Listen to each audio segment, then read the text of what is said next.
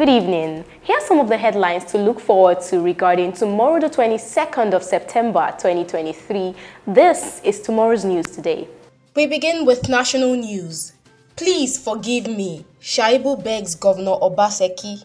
Election Tribunal upholds Enugu governor's election.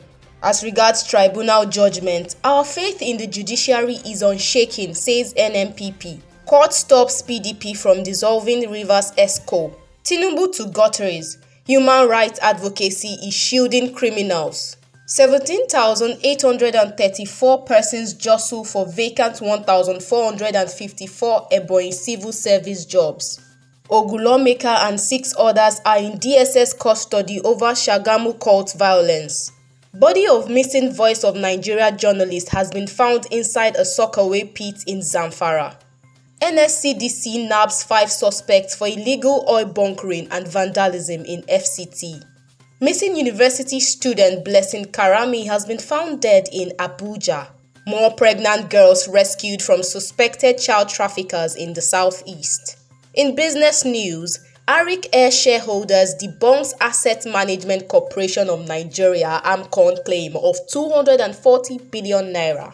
CBN postpones September 2023 Monetary Policy Committee meeting.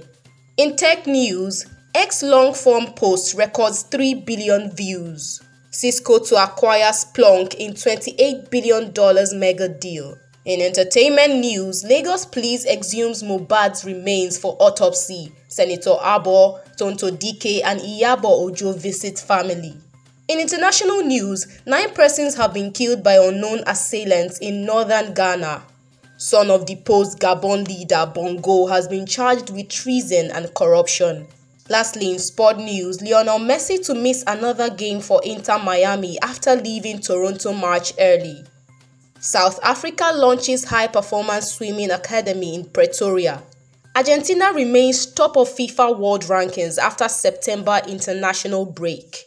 Get details of these news and more on our website at guardian.ng or pick up a copy of our newspaper from your closest newsstand. Don't forget to follow us at Guardian Nigeria on all our social media platforms. I'm Ifunaya Wachiku for Guardian TV.